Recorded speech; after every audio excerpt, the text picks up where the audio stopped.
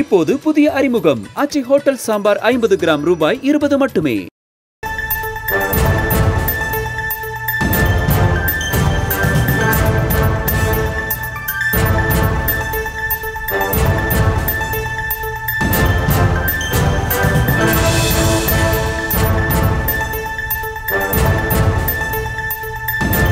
அண்மை செய்தி.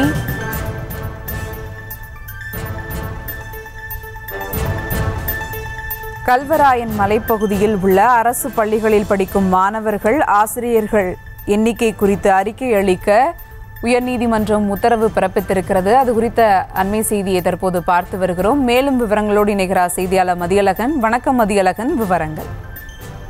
கள்ளக்குறிச்சி விசச்சாராய மரண சம்பவத்தை தொடர்ந்து கல்வராயன் மலைப்பகுதி மக்களின் வாழ்வாதாரத்தை மேம்படுத்துவது தொடர்பாக சென்னை உயர்நீதிமன்றம் தாமாக முன் வந்து வழக்கை விசாரணைக்கு எடுத்தது. இந்த வழக்கு நீதிபதிகள் S M Subramaniam M Jothiraman அமர்வில் இன்று மீண்டும் விசாரணைக்கு வந்தது.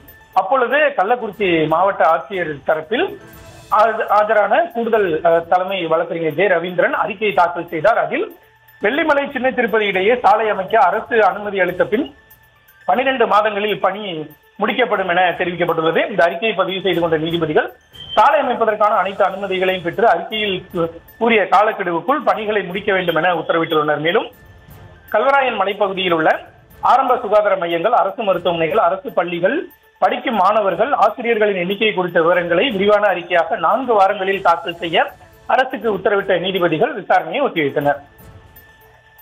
இப்போது புதிய அறிமுகம். அச்சி ஹோட்டல் சாம்பார் ஐம்பது கிராம் ரூபாய் இருபது மட்டுமே. செய்திகளை உடனுக்குடனும் துல்லியமாகவும் தெரிந்து கொள்ள சப்ஸ்கிரைப் பண்ணுங்க.